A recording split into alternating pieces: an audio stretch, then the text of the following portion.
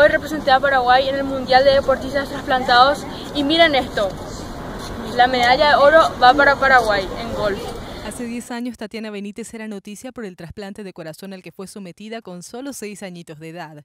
Hoy, convertida en toda una deportista, esta joven nos demuestra que puede y va a seguir ganando batallas. Orgullosa de representar a nuestro país, Tatiana nos alienta con su ejemplo y también con sus palabras. Vamos que sí se puede. Fuerza Paraguay, arriba Paraguay.